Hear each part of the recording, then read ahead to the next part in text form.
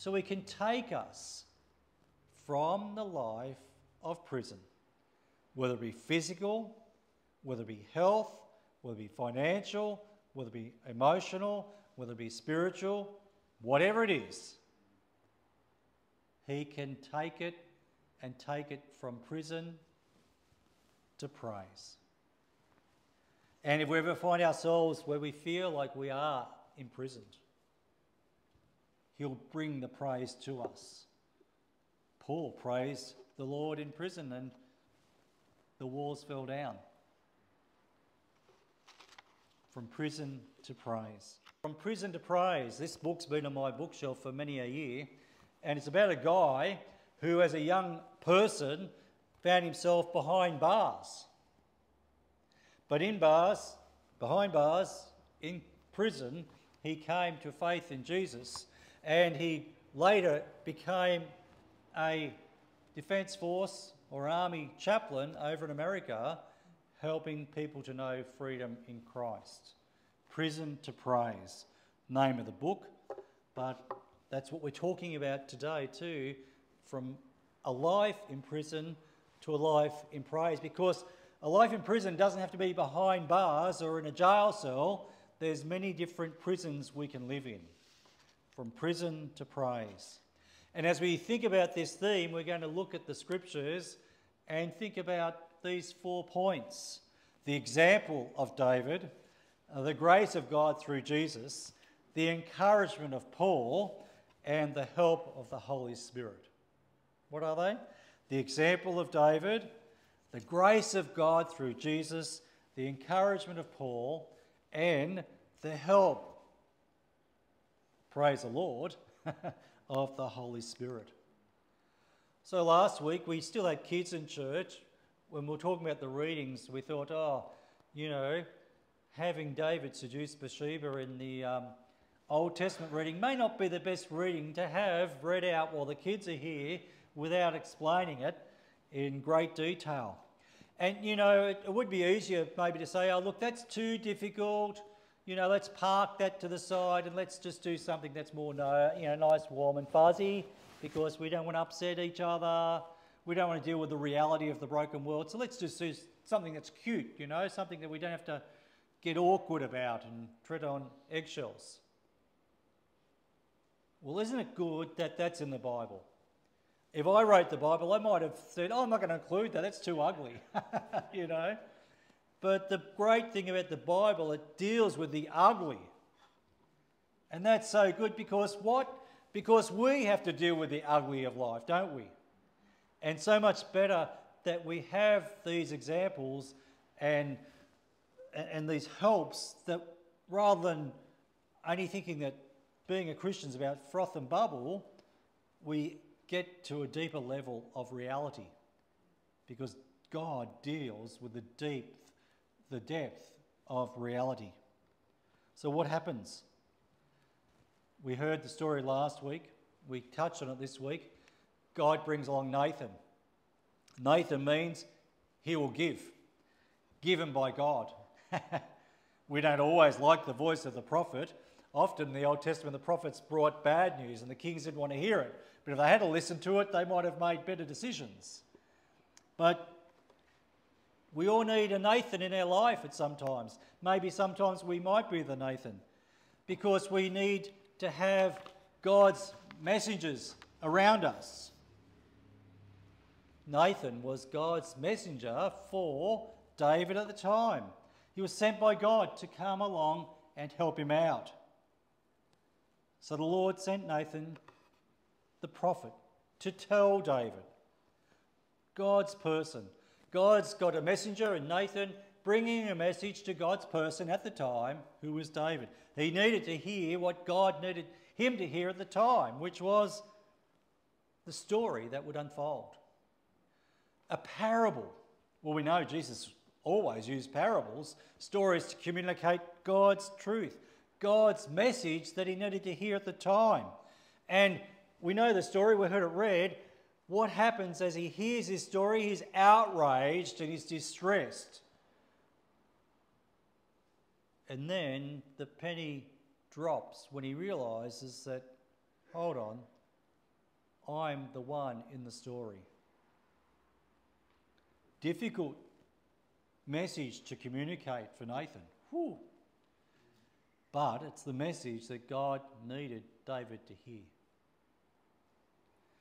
And out of that, he comes to a place of understanding. We all need that, don't we? We all need a Nathan, or we need people to help us to be checked. There's nothing, in a way, more dangerous to be unchecked, to be unaware of what we're doing. You know, I look back at my old life and there were things that I was doing. I was blissfully unaware of what chaos I was bringing to my own life and others' people's because I didn't have a Nathan in my life. Or if there was a Nathan in my life, I wasn't listening to them. But when we have a Nathan, we hear God's word through God's messenger, and we take it on board, there's a reality check that we all need. One old saying, you can take it or leave it, is, you know, if I'm ever doing this, and I've said this to people on the way, you know, having had other beautiful friends of mine fall, I said, if you ever see me doing that, get a bit of 4B2 and what? Hit me around the head not um, literally, figuratively.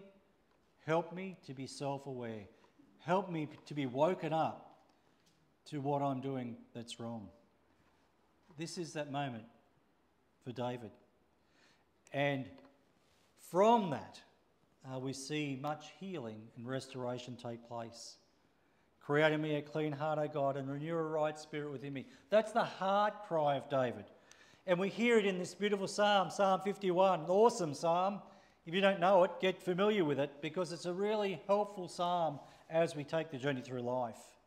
It begins with him acknowledging who God is, which is the first thing to realize well, I'm not God, I don't know it all. I need one better than myself, and that one is God. And then in acknowledging who God is, acknowledging, well, I'm a fallen creature and I I can't do it alone. I need help. And God's the one who can give that help. And I need to seek God's truth, God's grace, mercy, forgiveness, love, and compassion. And when I come to that place of repentance, God brings restoration. God soothes. God calms. God restores peace. God's grace is poured over us. And again, we could stay there. Isn't that awesome? But there's one little part that's captured in the story, and it's part we don't often talk about in the church, but it's a very important part the consequence. The consequence. David knew God's love, mercy, and forgiveness. But there was a consequence for his fallenness. There's a consequence for Moses' fallenness. And sometimes there's a consequence for our fallenness as well.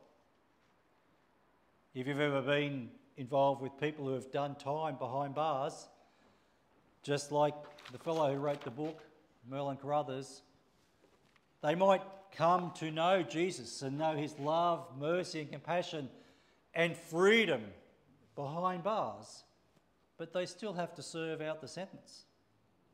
If they've been put in jail for five years and they've only come to know Jesus in year two, they'll still have to serve out the rest of their sentence. And for David, he still lived. There was consequences that are described in the passage, but he had to still live with the brokenness of what had happened. And we sometimes still have to live with the consequences of the things we've done. You know, I haven't done always good things in the past, and I'm ashamed of that. I've been healed of it and forgiven of it. But it might be that someone who I've heard in the past still thinks I'm a pretty low life sort of person. That doesn't bring me joy. It's a consequence, though. But the awesome thing is, we still can know freedom with that. I know at least one person on the planet probably a lot more who I don't know, who probably doesn't think I'm a nice person and I've done a horrible thing to them. And I acknowledge that and I know that. But that doesn't control who I am today. because God's grace and mercy overcomes those things. I In Isaiah, the prophet says, Freedom for the captives and release from darkness for the prisoners. God is a God of mercy. God is a God who knows we live in a broken world and he brings his grace to us, to all of creation. The Jesus factor. in our scripture today, Jesus said to them, they wanted to do the works of God, they wanted to see miraculous signs and all these things, hoo ha, bells and whistles. And Jesus said, Well, if you want to do the works of God, this is what it is. Listen to it, listen to it, listen to it. Believe in the one God has sent. Believe in me. God's messenger for God's person or God's people with God's message. Jesus said to them, I am the bread of life. Whoever comes to me will never be hungry again, and whoever believes in me will never be thirsty. God's grace, God's love, His abundance is poured out and given to us. So, David's example, God's grace delivered in the life, death, and resurrection of Jesus, and um, the example of Paul, because Paul was in prison. But he wasn't in prison for something he'd done wrong. He was in prison because people didn't like what he was saying, which was the good news of Jesus. So imagine that, because sometimes we can be in prison, whether it's behind bars or in prison in other ways, because of nothing we've done, but because someone else has done something to imprison us. And it's so amazing how God uses this. Look at how many letters Paul wrote. Most of the New Testament is from Paul. And most of it, a lot of it's written about when he was written, it was written when he was what? In prison. God used that time productively. God's messenger for God's people and God's message. From today's New Testament reading, the epistle, the letter, Paul writes, Therefore, I, a prisoner for serving the Lord, beg you, God's people, to lead a life worthy of your calling, for you have been called by God. Always be humble and gentle. Be patient with each other, making allowance for each other's faults because of your love. That's a bit tough sometimes, isn't it? Make every effort to keep yourselves united in the Spirit, binding yourselves together with peace. For there is one body and one Spirit, just as you've been called to one glorious hope for the future. It's an awesome encouragement for us, the church. Paul's encouragement. God's messenger, God's people, God's message. And how cool is this? God's Spirit. Jesus said, I will send to you the Paraclete, the Spirit of truth. He will come to you from the Father and will testify all about me. The Paraclete, the Parakletos, the Greek word for helper, comforter, encourager, counselor. Put your hand up if you don't ever need help. Put your hand up if you never need comfort. Put your hand up if you never need to be encouraged or counselled. I'm grateful and proud and, and pleased that no one put their hand up because we all need that help, don't we? We all need that help. David need that help. Paul need that help. We all need that help.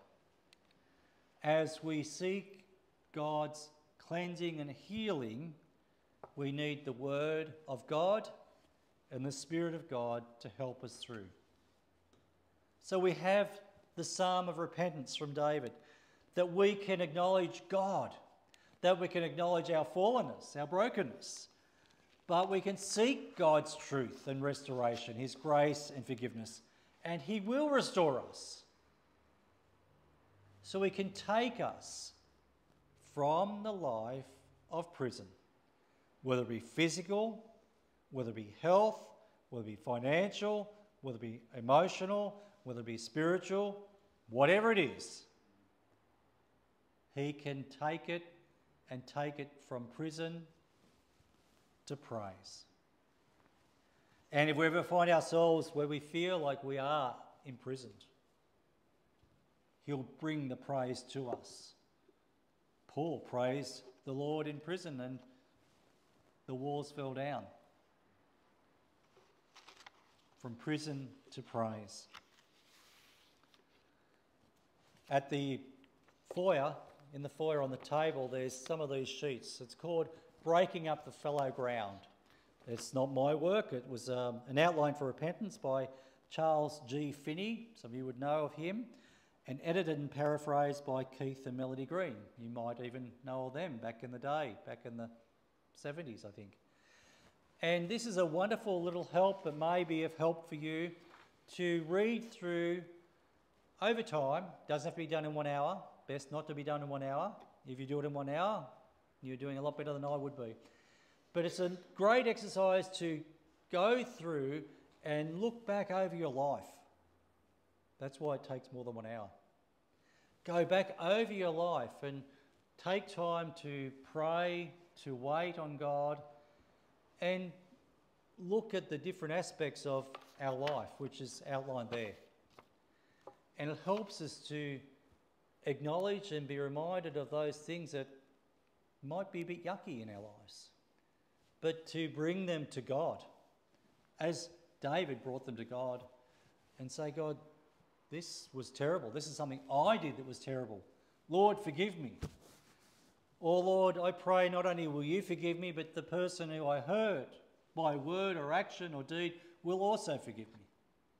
Or it might be a case of, Lord, what that person did to me really hurt me, and I'm still carrying that, that, that hurt with me today. Lord, I'm not ready to forgive them, but can you help and can you forgive them? And can you, in time, help me to forgive them. I'll never forget it, but I don't want it to have power over my life anymore. I will live with a memory, but I won't live with the pain that overwhelms me and cripples me. It's a helpful exercise. You may find it helpful. And um, if you find anything from today ooh, a bit too hard to, to live with, that's fine. Help is here. God's Spirit's here. God's words here. And if you need to have a yak to someone through the week, give us a call, one of the ministry team, and we'd be very happy to have a cuppa with you and talk and pray through these things. These things are brought up not to make us captive, but that we might be set free, that we might go from perhaps having some experience of being imprisoned when God wants us to be in a place of praise.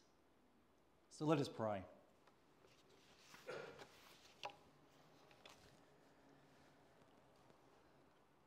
Lord, um, at least I want to personally thank you that you don't just deal with the easy things in life, that, Lord, you deal with the deepest things in life, sometimes even our deepest hurts and pains. And Lord, I thank you that you can do heart surgery on us even more greatly than the finest heart surgeon. You can bring your spirit's healing to our mind, to our heart, to the depth of our being. I pray, Lord, for us gathered and those who are watching online that your spirit might flow into us at this time, making us aware perhaps of things that we aren't even aware of. Two, for those things we are conscious of, Lord, we pray for healing and restoration. Help us to forgive those who have hurt us. And Lord, if we can't do that, we pray you'll forgive them and over time help us to come to that place where we might be able to forgive them. That we will no longer be captive uh, to what hurt we've endured. And Lord, we might also be recollecting too at this time that we have hurt someone and we are conscious of it. We pray you'll forgive us of that, Lord, and they might forgive us. Lord, if it's right, we might seek to communicate that to them if it's possible, if it's right. And Lord, help us to, lead, to be made aware of times and circumstances where we have hurt someone and we aren't aware of it. We pray that you'll bring the message of your word and your spirit, either directly or through a brother or sister in Christ, that we might be aware, that we can turn to you for the seeking of truth, the creating of a new heart and a right spirit within us. But Father, most of all, we thank you that you are a God of mercy, a God of love and grace. Help us not to sit in the ashes wallowing, but Lord, rather help us to step out to them and put on the garments of praise. For you are a mighty God, and you love and care for each one of us. In Jesus' name.